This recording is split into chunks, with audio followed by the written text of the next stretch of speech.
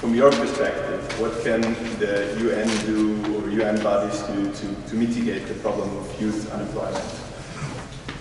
Well, thank you. That's a very challenging question, and also very challenging to speak after such a good oracle.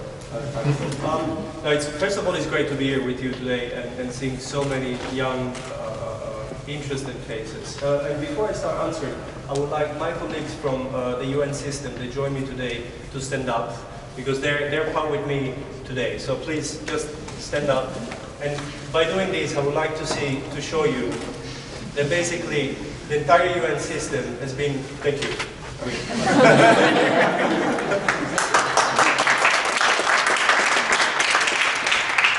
it's not, it's not only Matteo Landi uh, and Ahmad today, it's the entire UN system that decided to be here with you today. And, and the reason uh, is that the UN is really uh, uh, among you, and the, the, the, the, UN system is trying to work with you and for you. Um, Ahmad mentioned that the, um, the interagency network on Youth development is current, currently meeting in Vienna because UNIDO has been just elected the, the new co-chair for the year 2014 and 15. So what is the inter this interagency network on Youth development? Um, the, uh, the Secretary General called for harmonization in the UN system, particularly the, the, the, the youth, uh, more in the youth dimension. And one, one way that he has recognized to be very effective is really this uh, network youth development. It comprises over 40 entities of the UN, so pretty much every single entity, I don't even know all of them, in fact, by name. I can't remember, that's uh, how many they are. Uh, but they all have um, a very specific uh, interest, mandate, and, and, and, operation in the field of youth. UNIDO, for example, as you say, specialized in employment and entrepreneurship development to, favor, uh, to, to battle the, uh, the unemployment uh, issue. But there's many other uh, colleagues that are working in the, in the field of youth development try to make a difference. Now, why, why the system is so, why the, the network is so important?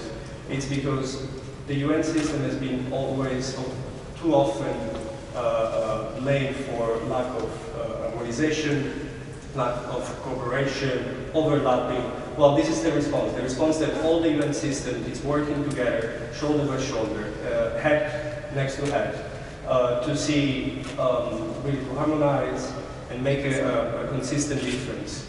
Um, and the third point is how we can work not only for young people, but really with young people.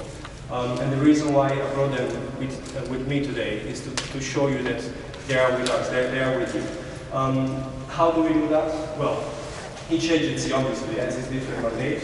Um, unemployment is it's a, a, a challenge that UNIDO is trying to tackle with many others, ILO and others. Um, but we, we're looking at all the different spheres in the, uh, in the development of, of young people.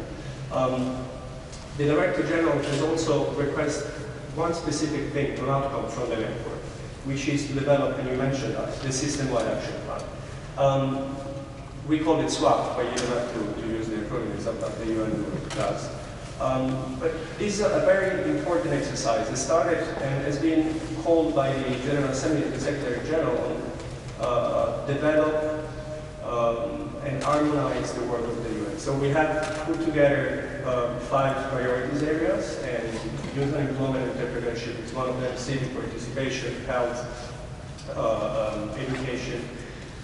And all the specialized agencies are get together in subgroups to try to um, make sure that the priorities that uh, were um, uh, indicated in the World Action Plan for Youth, which is what the, the entire, uh, all the member states of the General Assembly agreed upon to be really the action plan for, for youth uh, in the member states.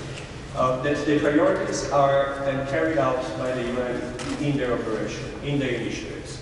So we have this area we focus and where we work together and where, where we harmonize uh, our intervention and where we, we work for young people and with young people. So really try to have uh, a coherent but also uh, um, inclusive uh, um, development approach. Um, the issue of youth unemployment, I think um, that's, that's a very complex issue. It has very different dimensions. Um, the way UNIDO as is looking at it, it's really from the beneficiaries, uh, from, from the young person point of view. We call it the value chain of, of the, the, the life of a young person.